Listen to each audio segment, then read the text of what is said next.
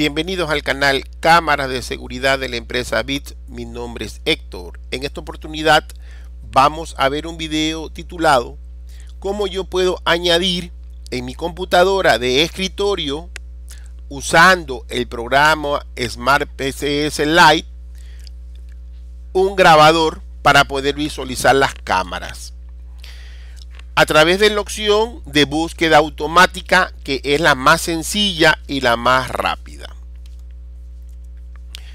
Tenemos una computadora, si es de escritorio, yo la podemos configurar tanto de forma local, cuando hablamos de forma local significa que va a estar estática, que no la voy a poder mover, que no necesito moverla como una lacto para poder visualizar la cámara tengo la opción de usar la dirección IP privada.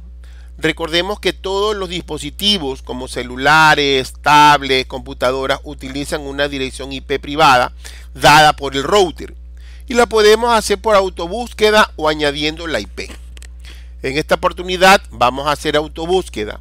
Significa que el mismo programa, el Smart PCS Lite, me va a dar la dirección IP en el proceso y de forma remota también puedo configurarlo a través de una IP pública estática o también lo puedo hacer a través del serial del equipo.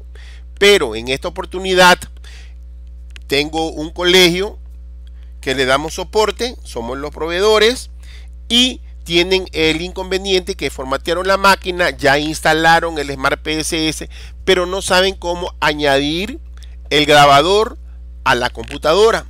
Entonces vamos a hacerlo de tal forma que el mismo programa le va a decir cuál es la IP que tiene el grabador y vamos a tener que seleccionarlo.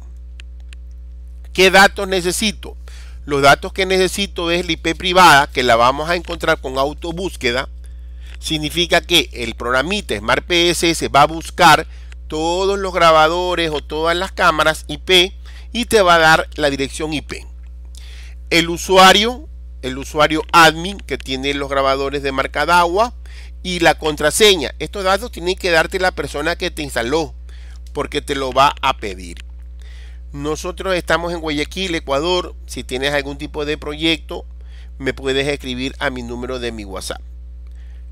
Estando ya instalado el Smart PSS, en la parte inferior izquierda me voy donde dice gestión de dispositivo.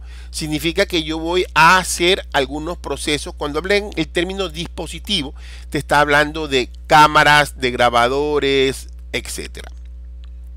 Estando dentro del menú gestión de dispositivo, yo veo la primera en este menú, yo veo autobúsqueda. ¿Por qué? Porque vamos a configurar las cámaras de forma local a través del IP privado con la opción autobúsqueda.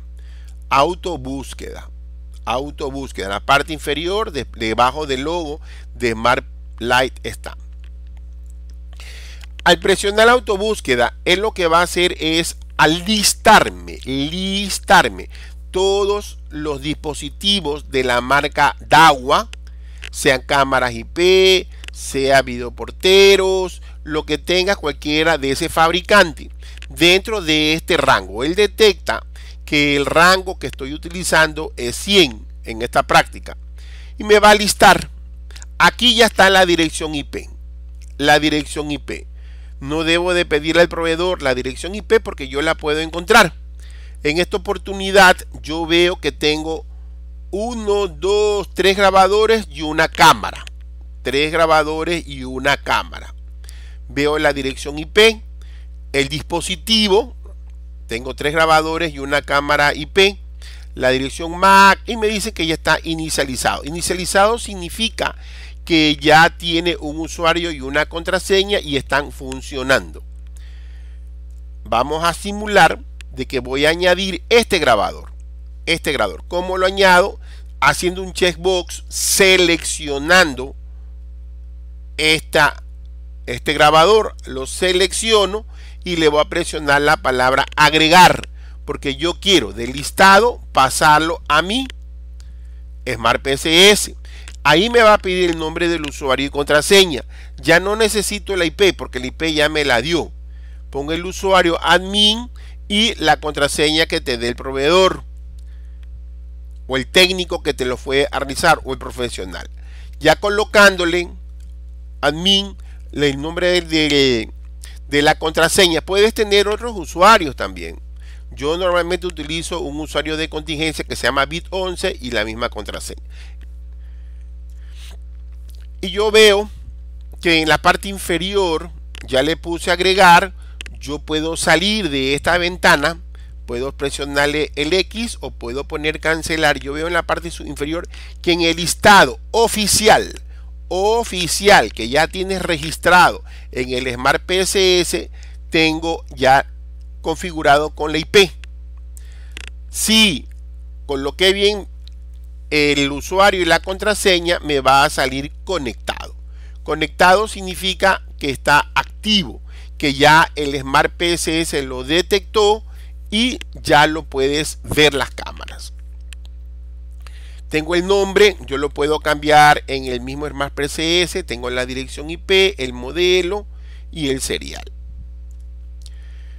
Para ver las cámaras me voy a inicio en el menú principal, me voy a inicio, me voy donde dice detalles de monitoreo en tiempo real. Estamos en gestión y yo ya tengo con la dirección IP 100.195. Ventajas. Esto es directo al grabador no necesito salir a internet y volver otra vez a internet. Si yo veo las, las dos, veo de forma fluida las imágenes porque estoy viéndolo de forma local. Tres, si yo me hubiera hecho de forma remota con el serial, yo lo puedo ver robotizado. Entonces aquí yo le hago clic.